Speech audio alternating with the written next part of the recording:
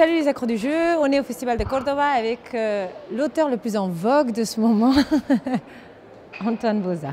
Ça va Bonjour, ça va très bien, merci. Oui. Alors l'Espagne, c'est bien eh ben, C'est très, la première fois que je viens en Andalousie et c'est très chouette, tout le monde est très gentil, je suis très bien accueilli, euh, le, le- le lieu est magnifique, la nourriture est très bonne, donc euh, jusqu'à présent c'est euh, parfait, rien, rien à redire. Bon, Félicitations pour tous les prix, pour tous les prix que tu as eus. Moi j'ai perdu le compte. Toi L'éditeur a compté, je crois qu'on en est à 17 ou 18, quelque chose comme ça. voilà. On les compte. Moi je les compte plus, j'avoue, mais euh, voilà. On, en est pres- on va peut-être atteindre les 20 d'ici la fin de l'année, ce qui sera un beau record. Ça serait pas mal. Je sais pas si c'est le record, mais ça doit pas être loin si c'est pas le record. ouais. Tu t'attendais à ce succès quand tu as pensé à Seven Wonders? On savait que le jeu allait marcher parce qu'on avait de très bons euh, retours des, euh, bah, des playtesters et des gens à qui on l'a montré. Donc il y a un moment où tu sais quand le jeu accroche vraiment plus de monde que d'habitude. Euh, ceci dit, on s'attendait pas à ce que ça marche autant et que qu'il récolte les prix partout et que tout le monde en parle. On pensait pas que ça serait aussi, aussi gros. On savait que le jeu allait bien marcher.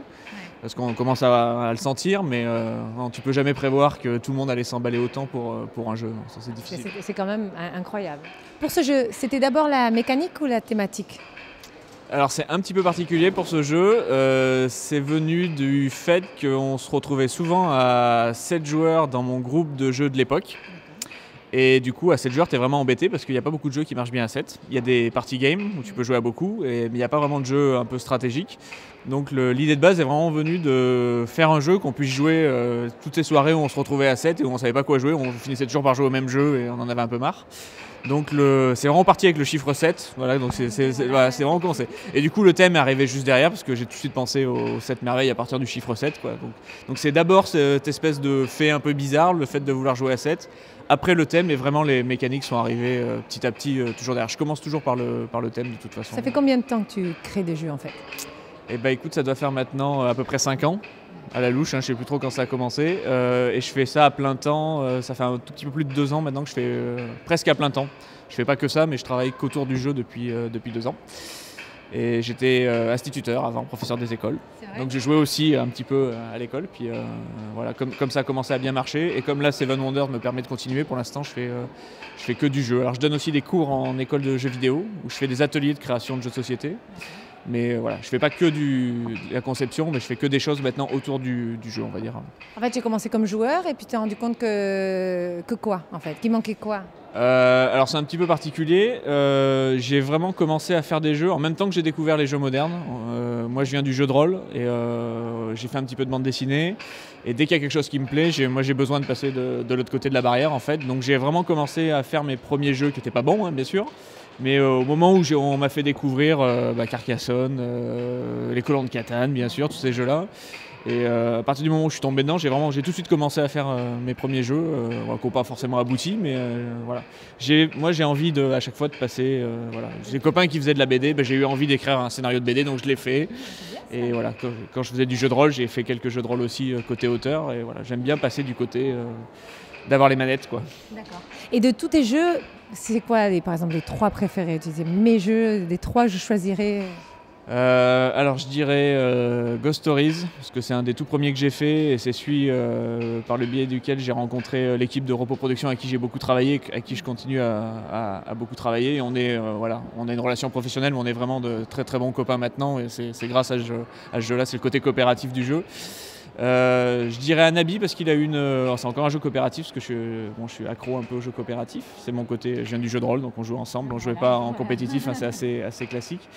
Et euh, c'est un jeu qui, voilà, qui, j'adore voir la, ré- la réaction des gens à qui tu expliques les règles et qui, à qui tu dis voilà, vous allez prendre les cartes à l'envers et vous allez jouer tous ensemble. Et tu as toujours des réactions euh, très, très marquées chez les gens et tu peux faire jouer n'importe qui. Ça c'est, ça c'est vachement, vachement intéressant. Donc je dirais celui-là. Et euh, en numéro 3, je suis obligé de dire Seven Wonders parce que c'est quand même un, voilà, un jeu qui a, déjà. euh, alors c'est assez rigolo parce que le jeu a pas un an.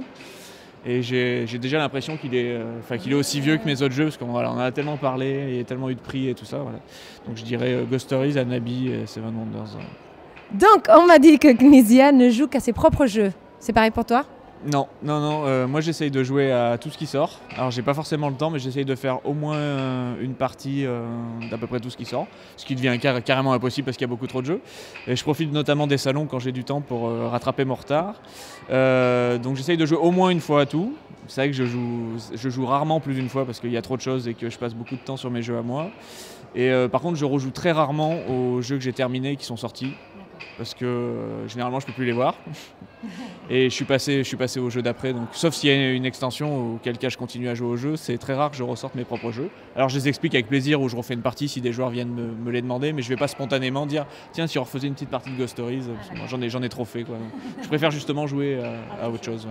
Euh, en parlant de jeux des autres, est-ce que tu as des préférences? Est-ce que tu as une préférence pour des jeux euh, Je sais que c'est c'est un peu. Ouais, je Euh, sais. Pour des, jeux, pour des jeux, pas forcément. euh, bon, j'adore les jeux coopératifs, hein, ça c'est ça c'est clair. Euh, les jeux auxquels j'ai beaucoup joué récemment, là j'y joue plus, mais j'ai énormément joué à Race for the Galaxy en version physique et version online.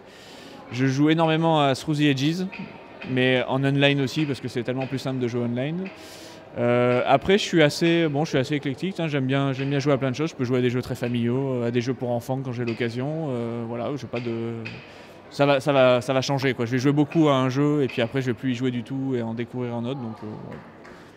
Et tu parles de online, Seven Wonders Online, c'est possible? Alors tu peux jouer online sur euh, deux sites pour l'instant en navigateur internet, sur euh, Brettspiel, je parle très mal l'allemand, et sur euh, Jeux sur un plateau en France. Et euh, on travaille sur une version euh, iMachin. On ne sait pas encore que ça va donner, mais en 2012, il y aura une version soit iPhone, iPad, soit l'un, soit l'autre, soit les deux. Euh, voilà, c'est en, cours de travail, mais bon, voilà. Pareil, l'é- l'éditeur a beaucoup de choses à faire, donc ça, tout ça prend du temps, mais ouais, ça, ça arrive. Quels sont tes auteurs de référence?